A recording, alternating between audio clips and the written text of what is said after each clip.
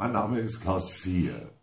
Ich bin Musikjournalist und besuche den Kölner Club Gebäude 9 seit vielen, vielen Jahren.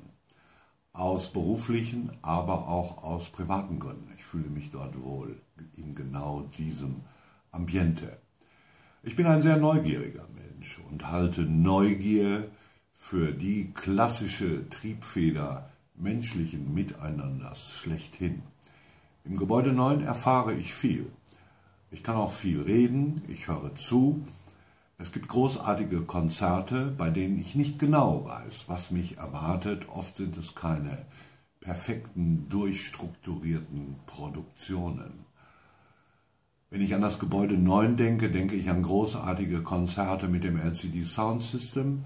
Ich denke auch an den ewig verschmitzt grinsenden Kellner Sepp, der mir in der Art eines Friseurs alles Wissenswerte über Köln erzählt. Bevor ich gehe, treffe ich Dutzende von Verabredungen, oft von denen ich oft weiß, dass nicht alle hinhauen werden, aber immerhin, man hat darüber gesprochen. Mein Appell an die Entscheider kann nur lauten, nicht nur überdenken Sie diese Maßnahme, das Gebäude 9 zu entfernen, sondern denken Sie schlichtweg um.